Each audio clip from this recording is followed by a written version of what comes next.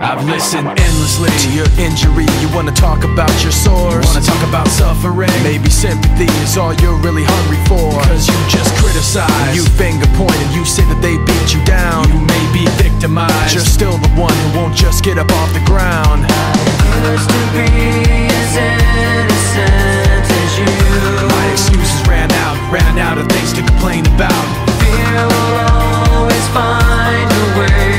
show.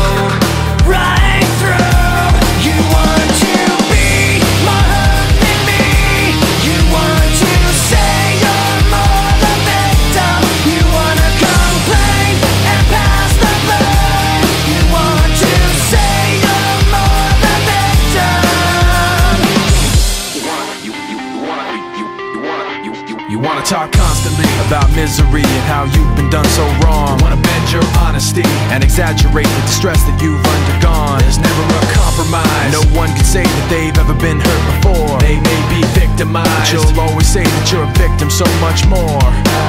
Used to be